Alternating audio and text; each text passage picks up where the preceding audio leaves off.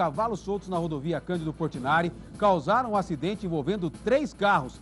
Sabe como eu sei? É porque eu estava lá. A frente da caminhonete ficou destruída. O motorista do carro, que teve a traseira atingida, reduziu a velocidade e, de repente... Eu estava vindo de lá, vindo para Portinari aqui. Aí tinha um, uns cavalos na pista, eu brequei, a caminhonete trombou atrás de mim, eu trombei nesse carro branco aqui. Aí na hora que desceu, os cavalos sopraram e foi embora. Se você não consegue frear a tempo aí, você tinha atropelado com certeza, não dele? Tinha atropelado, morri todo mundo, né? O carro do Donizete também se envolveu no acidente. O motorista também teve que frear para não atropelar os animais. Eu estava parado quando vi sentiu o impacto. O... A caminhonete não conseguiu frear, bateu na traseira do Vectra. Ele passou e acabou colidindo com a lateral do meu carro. Na hora você também chegou a ver que tinha animal na pista ou não? Tinha três cavalos, pelo menos três eu vi, que já estava correndo aqui pela lateral, né? Ainda assustado, o motorista da caminhonete não quis falar sobre o acidente. Ninguém se feriu.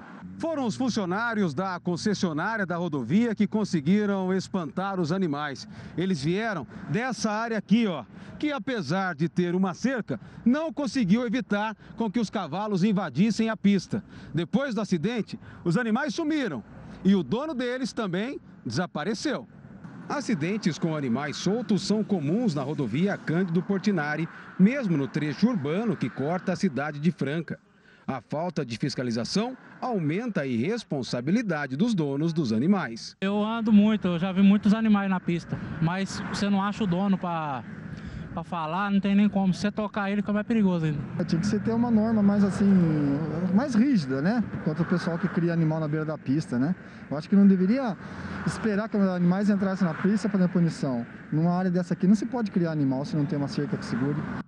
É, e tinha que cobrar, nós comentávamos isso, né? Da concessionária, que já lucra muito com o pedágio e tinha que ter uma área destinada, mas não tem, para tirar esses animais, para apreender esses animais e encaminhar depois o caso para a Guarda Municipal, para a polícia, mas infelizmente não é o que acontece. Ninguém fiscaliza, né? A concessionária não fiscaliza, a Guarda Municipal, o município não fiscaliza e aí os animais acabam invadindo a pista e causando acidentes. Nesse caso, graças a Deus, foi apenas o um susto, né? Pessoal aí ninguém se feriu, mas os danos materiais estão aí, ficaram agora para os motoristas, tá pessoal?